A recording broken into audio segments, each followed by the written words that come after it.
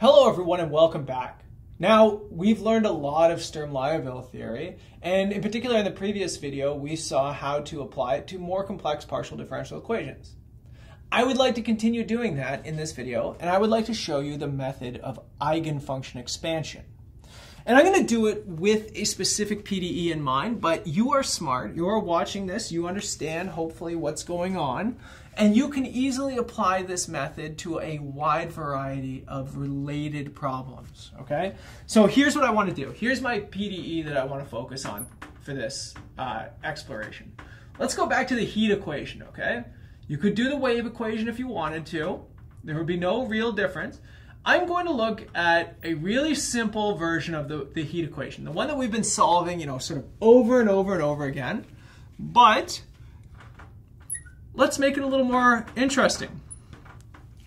Let's imagine there's some sort of heat source, some external heat source being applied to this thing. So remember, whenever we derived the heat equation in like the first video of this lecture, we came up with a pretty general equation that included these external heat sources, right? This Heat source could vary across the rod and it could vary in time as well. I'm not going to put any specifics on this thing. Okay, this is the PDE that I would like to solve. And here I'm going to put some boundary conditions on it. Let's just use uh, fixed boundary conditions. So in my case, I'll just fix the temperature at either end of the rod to be zero, homogeneous boundary conditions. And of course, we need an initial temperature distribution. I will just call that thing uh, F. Okay, so here's my general setup for my partial differential equation. And what I would like to do is I'd like to sort of start by recalling something that I can solve. And what I can solve is the homogeneous PDE. So homogeneous. Remember, this homogeneous terminology comes from uh, linear operators, right? So you might have to go back and recall our lecture on linearity.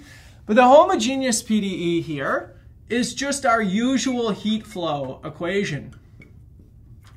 Ah, sorry, no squared. Uh, squared goes on the derivatives here. Right, so just our usual sort of diffusion equation along with the, the sort of boundary conditions that go right here.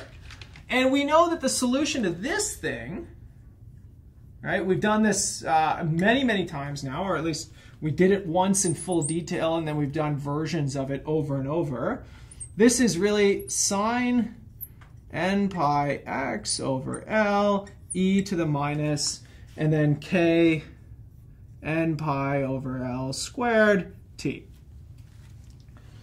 Okay, so the question is, how can we leverage this information in order to solve this PDE up here, okay? Well, let's take a look at this.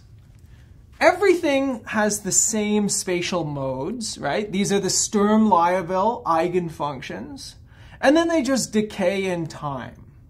So what I would like to do is, is for this PDE right here, I would like to set u to again be an eigenfunction expansion with potentially time varying coefficients. And here, I'm going to assume that phi n are the uh, Sturm-Liouville eigenfunctions associated to the homogeneous problem. So in my case, the phi n's are going to be sine of n pi x over L. These are the spatial modes, right? And the important piece of this, why I'm doing this, is because I know that Sturm-Liouville functions, they form a basis, a complete basis. I can always expand functions in them. The point here now is that my function is a function of both space and time. That means that I've got space covered by Sturm-Liouville, and so that means I need to determine time, right? So the difference between these two expansions is they have the same spatial mode, but they have different time dynamics potentially. And the time dynamics are going to be influenced by what happens here, okay? So the goal now is to determine what these AN of T's actually do. One other thing I want you to notice is because these things already satisfy the boundary conditions, I've got boundary conditions covered. That's good, right? let's look at one more thing before we start solving this. The initial condition, well, the initial condition gives me f of x is equal to, well, an of 0 phi n of x. So that means that the, the initial values of my ANs, right, they are going to be determined by the, the eigenfunction expansion, the Sturm-Liouville expansion of my initial condition in the same way that they were previously, right? Setting t equal to 0 here drops this out, and this AN would be determined by my initial condition, right? So if we just, if we wanted to write this nicely, AN of 0, this gives me the integral from 0 to L, f of x, uh, phi n of x dx divided by 0 to L phi n squared of x dx. Now, I'm trying to write this in a little bit of generality so you can apply this to other problems. But of course, I didn't put sigma in here, right? So if this was a general Sturm-Liouville expansion, you would have to include orthogonality with respect to the sigma variable or the sigma function. But here I am trying to keep a little bit of generality, but instead of writing sine every time, I'm writing phi n to emphasize that these are eigenfunctions of a Sturm-Liouville problem. But here's the point. Since these things satisfy the boundary conditions, I can do derivatives, right? So we learned about taking derivatives of sine and cosine and Fourier series. Same things happen here. So let's actually take some derivatives. So the partial derivative with respect to t of u, this is going to be, again, I can do term by term or term-wise differentiation. This is dan divided by dt of, of t, just to emphasize this, phi n of x. And if I do a second order derivative of uh, my function in space, now I get two derivatives of my Sturm-Liouville eigenvalues, right? Or eigenfunctions, pardon me. Which, because they satisfy the homogeneous Sturm-Liouville problem, this is going to give me uh, minus the sum an of t lambda n phi n of x. So again, I get an expansion in terms, both of these derivatives are expanded in terms of the eigenfunctions of the Sturm-Liouville problem, right? Now, the only difference is if you have a different homogeneous equation and you have different Sturm-Liouville eigenvalues, this expression will be manipulated slightly differently. But you will still see that you still get the eigenfunction expansion. So you should be able to follow this for uh, a variety of different problems. So let's put this into the PDE. And by that, I mean the, the big one here. Well, what I get is the sum from n greater than or equal to 1. So I'm going to pull all of this onto one side, and I'm going to leave q on the other side, okay? So here, I get this big summation. I can organize them by their eigenfunction. And so I get an prime of t. I'm just going to use prime for derivatives now because it's ordinary derivative, right? Single variable derivative. Plus lambda n k. Don't forget the k here. The, this becomes a plus. I pull this over, it becomes minus. This minus will cancel with it, so I get a plus here. And then an of t phi n of x is equal to q of x and t. So the question is, how do I solve this? Well, I can do an eigenfunction expansion of q as well. So let's do an expansion. So expand q of x and t, right? It can be projected onto each one of these basis elements, these eigenfunctions, right? It's a complete basis. It means every function can be written as an expansion of this thing. And so here now I get a summation as well.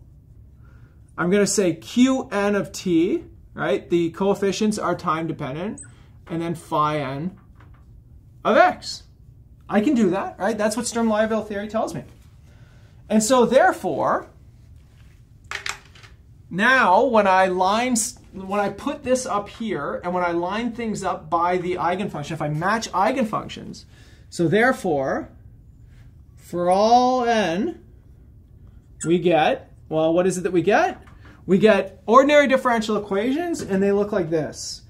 an prime, right, plus lambda n k a n is equal to qn of t. This is a simple, ordinary differential equation. This is the kind of thing that you could solve. Maybe if you were watching my previous lecture series on ordinary differential equations, you can solve this with an integrating factor. You sort of just multiply through by an exponential function, do some integration, and in that case, you get a solution. And what does my solution look like? Well, I get an of t is equal to the initial condition, an of 0 times e to the minus lambda n kt. That's this term right here, the homogeneous part, right? And then plus e to the minus lambda n kt, and then an integral, because we don't know exactly what this is, so we can just write this in a sort of general formation. 0 to t qn of s, a dummy integrating variable, e to the lambda n k s ds. So unfortunately, you can't just kind of solve this right off the bat because we don't know exactly what Qn is. But if we knew, you know, if we had a specific Q here, we could do all these projections, all these expansions, and we could put this thing in and we could solve this. We would get a, a solution to this inhomogeneous equation in terms of these eigenfunction expansions. The beautiful part here is that you completely decouple, right? And the decoupling comes from the orthogonality of these eigenfunctions and the fact that they solve your homogeneous Sturm-Liouville problem. Again, if you do this for a more complicated uh, uh, partial differential equation, maybe something like the, the inhomogeneous wave equation we did on the previous video, you would get just different eigenfunctions, but you would still get this kind of relation coming out of it, okay? Also, you should note if uh, Qn is zero, well then, this gives us that an of t is equal to an of zero, right? So the initial condition, which is just the same initial condition as if you didn't have that forcing there. And then e to the minus k lambda n t, which is the homogeneous solution, right? So really the only sort of new part is coming from this piece right here, which is coming from the external source. So the really beautiful part here is that we can now solve more complicated partial differential equations, something that maybe you would have thought early on in this lecture series that was completely unapproachable, right? Something that maybe we weren't able to do, even though I derived a really, you know, general equation. But you were wrong, right? This is great news for us because now we can solve more complicated partial differential equations. And of course, we can make this even more complicated by having inhomogeneities going across this thing plus external heat sources, right? So now we're really sort of stepping up the complexity and being able to solve more complicated partial differential equations. In the next video, when we come back, we're going to look at what happens if you have inhomogeneous boundary conditions. So if you're forcing the temperature at the ends of this rod, or for example, if you have a vibrating string and you're sort of forcing the spring on one or the string on one end, then uh, you can also do these sort of methods of eigenfunction expansions and still solve these PDEs. So I'll see you all in the next video, everybody.